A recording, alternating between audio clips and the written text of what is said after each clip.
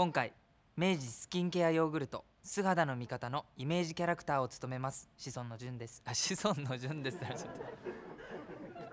ごめんなさい。言えて安心してちょっと最後あれでした。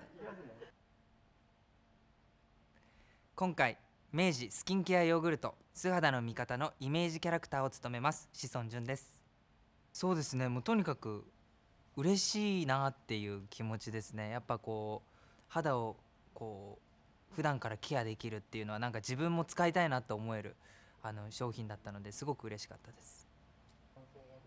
最高です。飲んでそれが少しでも良くなるっていうのがやっぱものすごく嬉しくて朝とか特に時間ない時とかなんかそれが毎日の日課になるのはすごくいいなって思うしなんか気分も上がるというかなんかルーティンになるなっていう感じはしますね。